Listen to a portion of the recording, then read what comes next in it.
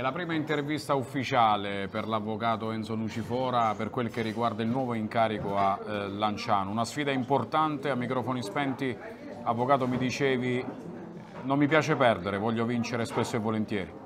Ma per mia natura, durante la mia lunga carriera, non ho mai giocato per partecipare ai campionati ma per vincere. Non dico vinto sempre, ma comunque le mie squadre hanno sempre lottato per fare bene. Mi ricordo diverse sfide con il Lanciano, quando stavo con il Chieti, quando stavo con la San Benedettese, quando stavo con l'Avellino, ero amico del presidente Zangerucci, del figlio, i tifosi mi conoscevano, mi fermavano per la strada, parlavamo di calcio anche perché ero ex pescarese, ex chietino e quindi ho avuto sempre un rapporto diciamo di simpatia e poi sentivo nei miei confronti da parte della tifoseria lancianese tanta stima e tanta cordialità.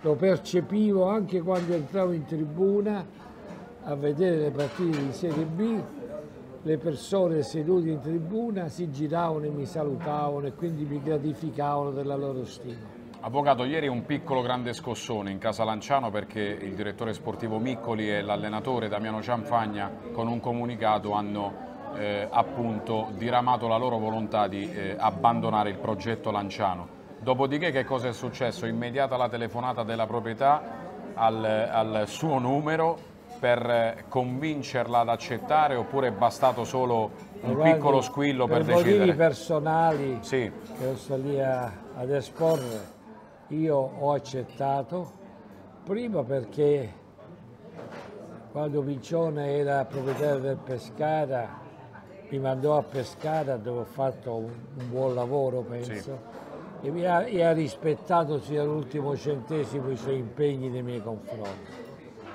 seconda cosa perché spesso mi chiamava anche per piccole consulenze a Grosseto e altro.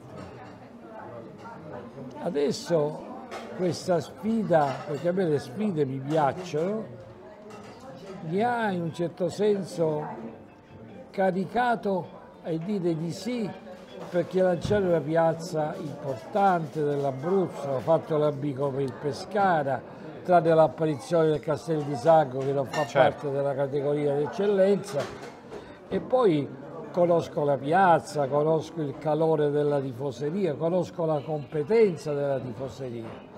Io chiaramente cercherò di costruire una squadra che dia delle soddisfazioni alla, alla città, alla società, a me soprattutto, che farò dei sacrifici per poter essere presente, essere sul, presente campo. sul, campo. Durante la settimana, Avvocato, eh, eh, la società ha chiesto ovviamente di strutturare una squadra importante a partire dall'allenatore. So senza fare nomi che già nel pomeriggio ci saranno degli incontri per decidere la figura che guiderà certo. questa, questa compagine, ma possiamo fare una piccola promessa ai tifosi? Che squadra sarà? Competitiva oppure un anno di transizione? No, no, io la transizione non ci credo non credo ai programmi di due o tre anni, quando si dice tra due o tre anni saremo promossi, e che te l'ha detto.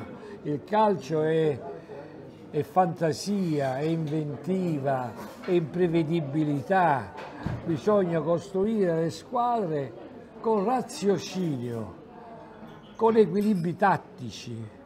Poi sarà il campo a dire se hai fatto bene o hai fatto male, ma dire programmiamo due o tre anni queste sono frasi fatte da Batello Sport. A proposito di campo, direttore, eh, lei sa benissimo quello che sta succedendo, che è successo a Lanciano per quel che riguarda l'affidamento la, la, uh, del Biondi, dello stadio. Sì. Ecco, anche sotto questo punto di vista, vi state muovendo lunedì, per cercare una soluzione? Lunedì sarò a Lanciano. Sì.